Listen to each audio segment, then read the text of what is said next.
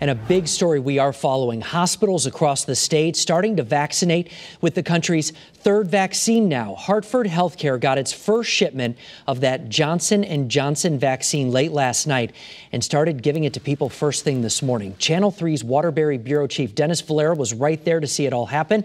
Uh, he's joining us now with more. Dennis, obviously one shot equals one person vaccinated. How many did they receive? Mark, they got 7,400 doses of the Johnson & Johnson vaccine, and Hartford Healthcare says they vaccinated over 92,000 people with at least one dose of a vaccine. So with this third vaccine now in their arsenal, they expect to hit the 100,000 mark if within the next week. Now we're going to see the first 10 people that are helping them reach that goal. The majority of them were teachers or other educational workers.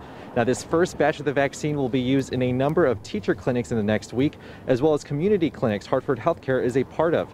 Now the first one to get this one dose vaccine here was a Hartford school safety officer.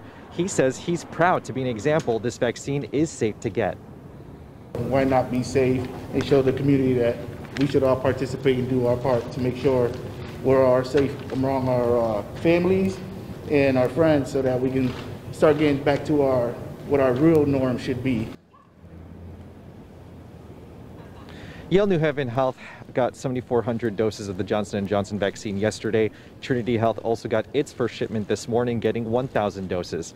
Now, before this vaccine arrived, many said it was going to help open up more appointments for people to get vaccinated. Later at 5, we'll hear how Hartford Healthcare is changing how people are getting scheduled because of this vaccine. Live in Hartford, Dennis Valera, Channel 3 Eyewitness News.